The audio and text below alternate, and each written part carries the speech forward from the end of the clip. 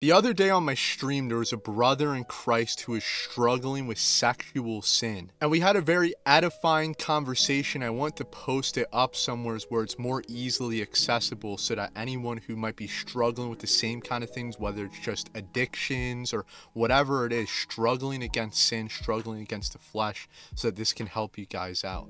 So stay tuned. Everyone in the modern world is going through something like this. It may not be specifically what you're going through, like with uh, watching pornography to like such an extent or like eat, eating, binge eating.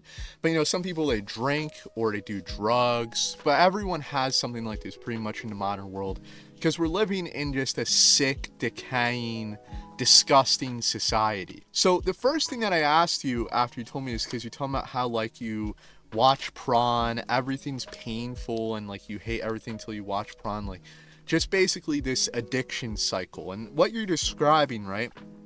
Is very perfectly just the addiction cycle. You feel bad.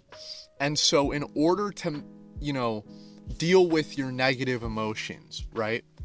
You give into the addiction. It could be drugs, it could be, you know, in this case, watching prawn, having sex, binge eating. And then once you give into the addiction, you know, you have that, you know, high for a little bit. And then after you have the high, you come back down to reality and you're like, I can't believe I've just done this, man. And then that makes you feel even worse about yourself, which makes you feel bad about your life. And then, in order to not feel bad about your life anymore, you give into the addiction again to get rid of the anxiety, the depression, the anguish. And then you have you ride on this high for a little bit until ultimately coming back down and you know, progressively this cycle will keep getting worse and worse and worse and worse. And since what you are you're dealing with in particular is sexual, I asked you, um, were you molested as a kid, right? And this is an unfortunate um reality that people don't want to face, but because our world has become so civilized, so hyper civilized, the statistics have gotten to the point now where it's about one in seven children in public school are molested or raped in public school. And these are just facts. Okay? This is just straight facts right here.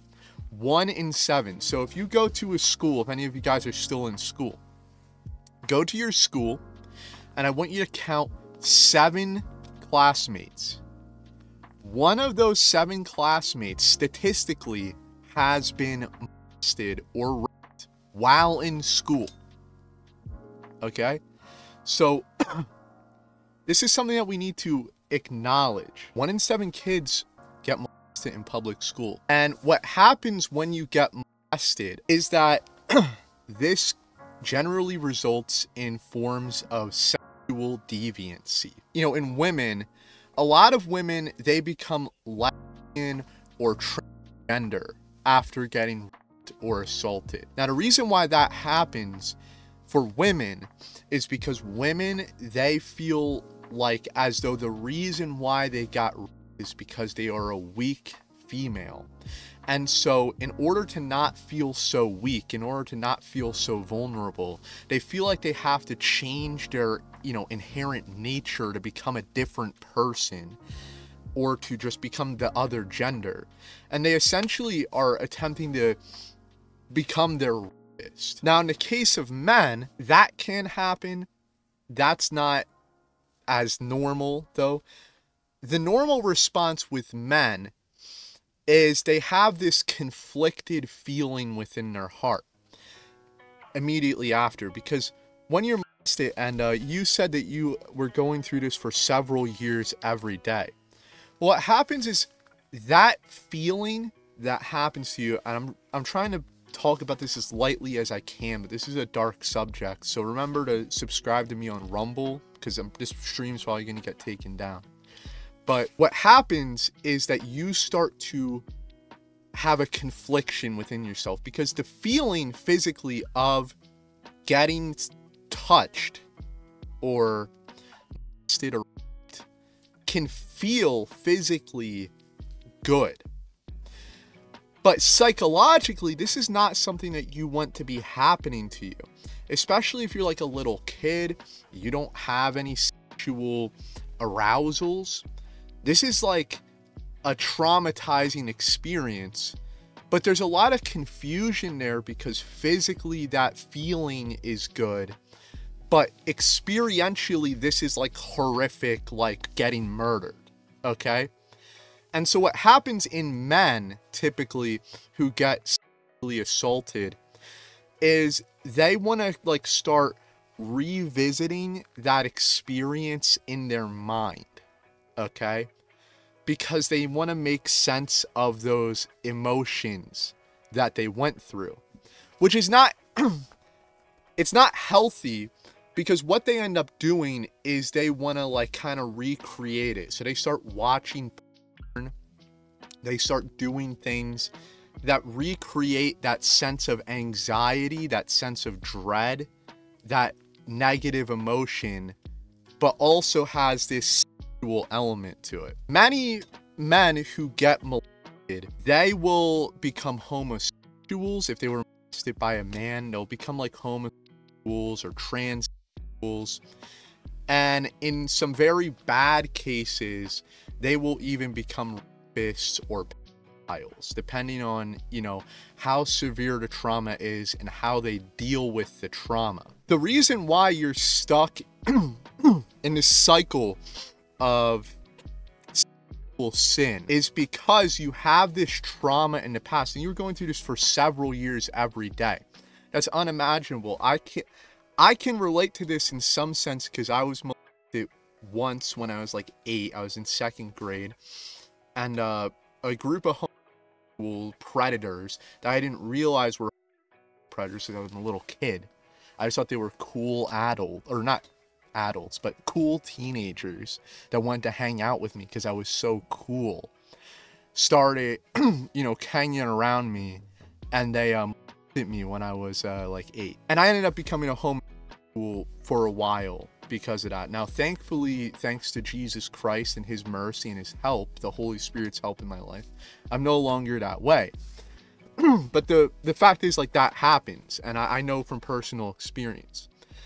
The reason that you're stuck in this continual cycle of sexual sin is basically because you're associating anxiety and fear with sexual pleasure. because the first ever sexual experience you had was this this because of that these two emotions in your life have become coupled together which is not good right especially so for you and so in order to get turned on you need to feel anxious and then when you feel anxious in just your general life, that is associated with feelings. And this is all a result of that traumatic experiences that you had as a child, as a kid. These two things have become linked now. And so you you're probably watching like you know, I became a but you're probably watching some bad stuff, some pretty sick stuff, or doing weird stuff. I don't want to, you know, I, you don't need to tell us. I don't want to hear, honestly, you know.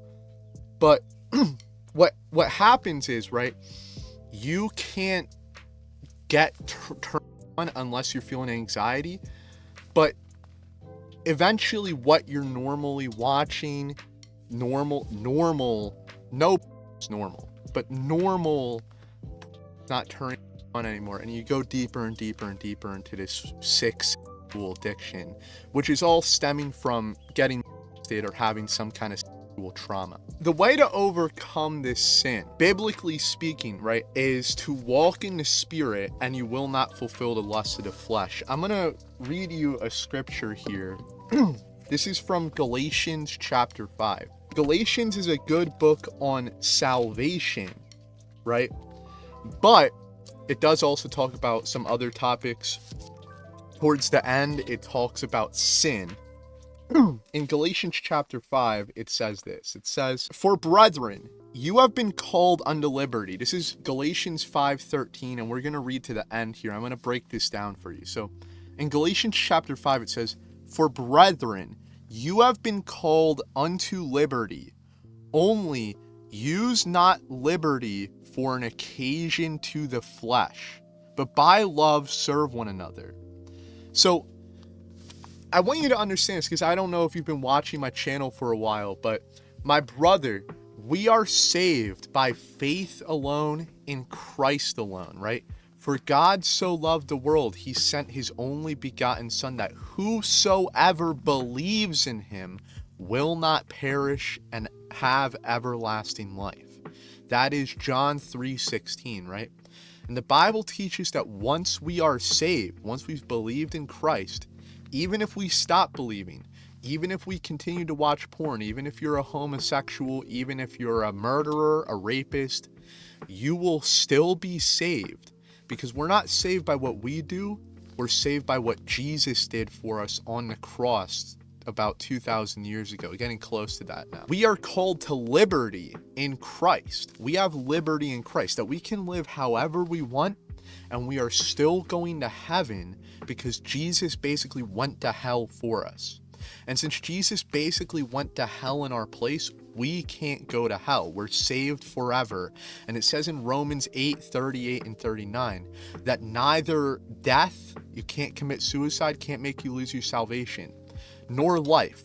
Nothing you can do in your life can make you lose your salvation, nor things present. Nothing you could do right now can make you lose your salvation, nor things to come. Nothing you could do in the future can make you lose your salvation. None of these things can separate you from the love of God. So, no matter what sins you commit, you are saved eternally by our Lord and Savior Jesus Christ because God loves you. So we're called into liberty. You can, you are literally free to continue living in sin. You would still go to heaven, my friend. But he says this, do not use your liberty for an occasion of the flesh. So don't use your liberty to fulfill the carnal lusts of the physical body, right? Don't use your liberty in Christ to sin, is essentially what he's saying, right? Don't use your freedom in Christ that you can live however you want to sin, but instead love one another. For all the law is fulfilled in one word, even this, that thou shalt love thy neighbor as thyself. So, all of the commandments, the whole 10 commandments, there's really 613 commandments in the Bible, but all of them can be fulfilled with just one principle love your neighbor as much as you love yourself. So, if you are loving your neighbor as much as you love yourself, you are keeping all the commandments. So, although we have the liberty and the freedom to do whatever we want and we will still be saved no matter what we do, we should not use this freedom to sin. We should use this freedom to love one another. But if you bite and devour one another, take heed that you are not consumed of one another. When we sin, sin will physically destroy us sexual sin, which is the sin that we're talking about here, sexual sin will destroy you. It can give you STDs. You can have all kinds of health problems. I was doing, I don't want to get too deep into what I was doing, but I was starting to experience health problems from my sexual sins. So, sin will destroy you. And this is why we need to avoid sin. But how do we avoid sin? This is what it says. This I say then walk in the Spirit, and you will not fulfill the lusts of the flesh. So he says the, the key to not fulfilling the lust, and the lust of the flesh is the reason we sin, right? The key to not fulfilling the lusts of the flesh and sinning is to walk in the Spirit. But what does that mean? So it says this For the flesh lusts against the Spirit, and the Spirit against the flesh. And these are contrary the one to the other, so that you cannot do the things that you want. Let me break this down to you. Now this is this is deep, all right? But pay attention, right? This is going to help you to understand. So the human being is designed with two parts, two fundamental parts the spirit and the flesh. The flesh is your physical body. You see my arm here? You see this hand? This is flesh. Flesh, blood, and bone, right? Flesh. The physical body. But then, right, we're not just a rock, right? We're not just a tree. We're alive. What animates us? What animates the physical body is the spirit. So you have a soul animating a physical fleshly body, right?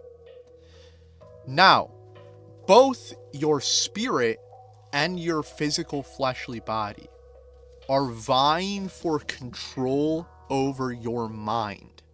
Okay? So your mind is the battleground between the needs of your spirit and the needs of your physical body. So your physical body, right? It lusts after eating. Why does it lust after eating? It lusts after eating because you need to eat to survive. And your physical body is an amoral resource seeker. It does not care about morality so long as it fulfills its needs for survival. So, if you lust for food, right, you're hungry, that's the flesh lusting. We lust to have, you know, safety, right? We also lust to have sex because sex is how we continue our physical genetic line, right? Your physical body can live on in your children. But your spirit lusts after different things.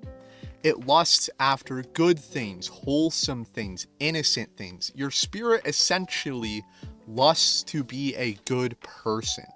Okay? But the problem is is that we have both the flesh and the spirit, and sometimes the flesh and the spirit are in contradiction to each other. They are against each other. Now, God intentionally designed you this way. And the reason He designed you this way is so that you cannot do the things that you want to do. He gave you a spirit so that you do not become as sinful as you possibly can.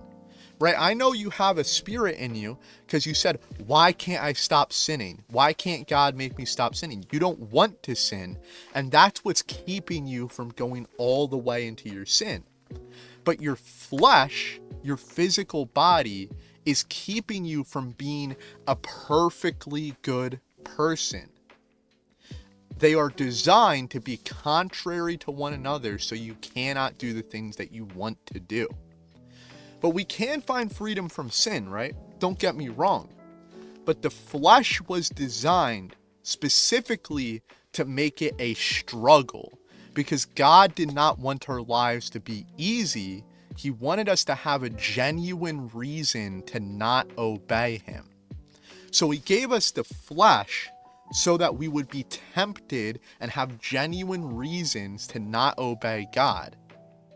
And He gave us a spirit to keep us from fully giving into our flesh. All right? Now, listen to this. Verse 18 of Galatians chapter 5. If you are led of the Spirit, you are not under the law. Right? If you are being led by the Spirit, if you're obeying the Spirit, you're not breaking any commandments, you're following God's commandments, right? So, the key to following the commandments, the key to not sinning, is by walking in the Spirit.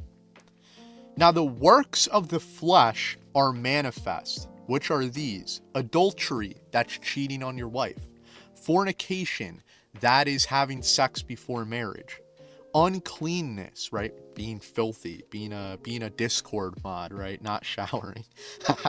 lasciviousness. That's what you have. You have lasciviousness, my brother in Christ. You have lasciviousness, which is sexual lust. Idolatry, that's worshiping false gods. Witchcraft, hatred, variance. Variance is like fighting emulations that's you know trying to emulate someone else right trying to be like others wrath, that's being angry all the time, strife, that's constantly arguing, seditions. Seditions is like civil war, kind of. Heresy. Heresy, even, you know, teaching false doctrine. That's a lust of the flesh, right? And we can get more into that later. I don't want to focus on that. Envyings, murders, drunkenness, and such like, of the which I tell you before, and have told you in times past, that they which do such things shall not inherit the kingdom of God. Now, I just want to touch on that.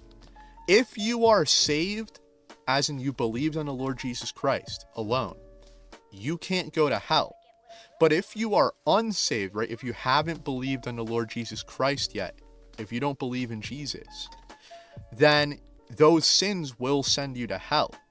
No one who's committing those sins will get into heaven unless they're saved and their sins have been forgiven by the blood of Jesus, right? But the fruit of the Spirit is love, joy, peace, long suffering, gentleness, goodness, faith, meekness, temperance. Against such there is no law. So, you have the lust of the flesh that drive you to sin, and you have the lust of the spirit that drives you to righteousness. We don't win the war against sin by fighting against our sins. Ah, I'm not I'm not going to do drugs. I'm not going to watch I'm not going to, you know, be a glutton. That's that's not how you win the war. The way you win the war is you just totally just don't give a f- if you sin or not. Instead, whether you sin or not, focus on walking in the spirit. Love your neighbor as yourself. Be loving to the people around you. Go say I mean, I don't know about your relationship with your parents. I can't imagine that they're that's good. So I won't give that example, but go talk to your friends and edify them and show them compassion, talk to them and ask them about their problems, help them, go visit them, right? Love your friends, right? Long suffering, right? Long suffering is a fruit of the spirit, right? Be patient with people, right? Gentleness, be gentle towards people. Have faith, right? Read the Bible, believe the Bible. Meekness, right? Put others first before putting yourself first. Temperance, against which there is no law. When we walk in the Spirit, right? My understanding of it, maybe I'm wrong, but to walk in the Spirit is to focus on good and noble things. It says, I believe in Timothy, it says, whatsoever is pure, whatsoever is innocent, whatsoever is noble, meditate on those things. So meditate on good things. Focus your mind on good things. Don't focus on how bad your sin is. Instead, just focus on doing good. Just ignore your sin. Right? If you sin, you know, just say, God, I'm sorry. Please forgive me. No, I don't want to sin. But then just get up and just keep going. Just keep doing good. Just keep doing good you know, I've sinned today, I've done evil things today, but I'm not going to let that stop me from serving God because the key to overcoming sin is to walk in the Spirit. What I'm doing right now, sharing the Word of God, trying to help people online right here, this is walking in the Spirit. This is an example of walking in the Spirit, how I'm trying to help you right now. And when we walk in the Spirit, you can't fulfill the lust of the flesh. Listen, let's just say I was struggling with porn addiction, right? I'm not going to be on a live stream talking about how much how great God is and we're reading the Bible, reading the Gospel of Luke, and then I whip out my and I start, you know, my you know, uh, that's not that's not going to happen because I'm walking in the spirit, right? My mind isn't even in a place where that is like a possibility, you know? If I if I'm on here doing this right now, I'm not gonna like you know hot rail a line of meth. I don't I don't even know. I think you uh, hot rail a, a ball I don't know. I don't know. I don't do drugs. Okay, but I'm not gonna hot rail meth on stream while I'm telling you about God. You know, because I'm walking in the spirit. When you're doing good, when you're walking in the spirit, you literally can't sin when you're walking in the spirit, right? What I recommend to anyone who's struggling with sin and to my brother here, when you walk in the spirit, right, you can't fulfill the lust of the flesh. You can't be watching, you can't be over when you're walking in the spirit. So, what I recommend to you, right, spend time reading your Bible, right? Join the stream with us, right? Uh, enjoy the stream. You're going to be reading through the Gospel of Luke, chapter 2 today. Learn about our Savior, right? It says in First John, let me read this to you because this will also help you. This will help you a lot what I'm about to read to you. Now, you got to be careful reading the book of First John. Many people take it out of context to teach something that it's not teaching, right? But it says this. It says in First John chapter 2. Now, this is about the Christian life. It's not about salvation. It's not about heaven and hell. It's about loving God, about obeying God. It says in 1 John chapter 2 verse 4, "He that says I know him but keeps not his commandments is a liar, and the truth is not in him. But whosoever keeps his word, in him is the love of God perfected, and hereby we know that we are in him. He that says he abides in him ought to also so walk, even as he has walked, right? So what is it saying? It's saying if you say that you know God, now what is knowing God? What is knowing Jesus? It's not just being aware of Jesus' existence or knowing he died for your sins, but it's actually understanding who he is, understanding what just what the nature it is of what Jesus did for you truly understanding the character of God as a person, not just as a concept of a being out there, but as a but as a person, having a personal relationship. If someone says they have a personal relationship where they know God, but they're living in sin, they're lying. They don't know God. And what this teaches us is that the key to overcoming sin is to get to know Jesus. And that's why I do these streams reading the Bible. Because if you watch these streams, it will help you to get to truly know who God is, who Jesus is. And when you understand who Jesus is, you can't sin. Like, you can't. And one more thing I will read to you is in First John chapter 1. It says this it says, if we say that we have fellowship with God and walk in darkness, we lie and do not tell the truth. But if we walk in the light as he is light, we have fellowship with one another, and the blood of Jesus Christ cleanses us from all sin. Now, what this is saying is that if you say you have fellowship with Jesus, which again, this is talking about prayer personal relationship, which not every Christian is fostering, right? I barely foster. I only pray to God like I don't know, like sparingly throughout the day, right? The Bible tells us to be in constant prayer, constantly be talking to God. So, you know, if you're not constantly praying, constantly talking to God, you're going to walk in darkness. But when we have fellowship with God and we talk to God and we foster a personal relationship with Him through prayer, communicating with Him, reading His Word, understanding who He is, we find freedom from sin because our love for God will outweigh our lust to sin.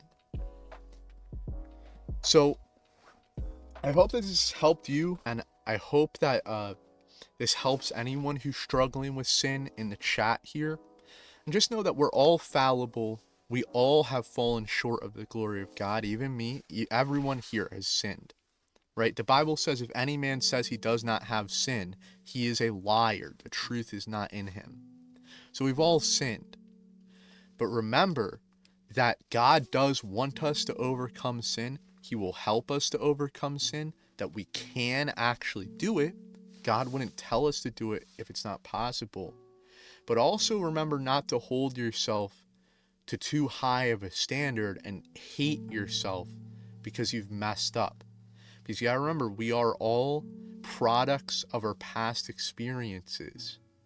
If you were for several years, like if you're molested every day for seven years, God's not expecting you to just overnight, oh, I'm not gonna sin anymore.